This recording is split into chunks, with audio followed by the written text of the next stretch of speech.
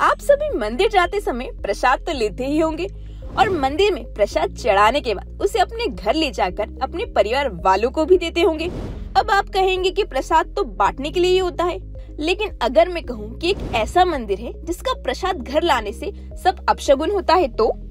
आप कहेंगे ये कैसे हो सकता है? लेकिन ऐसा है।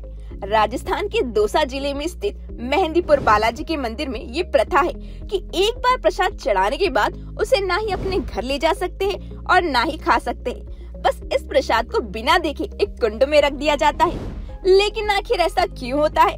आइए जानते हैं जल्दी से इसके बारे में।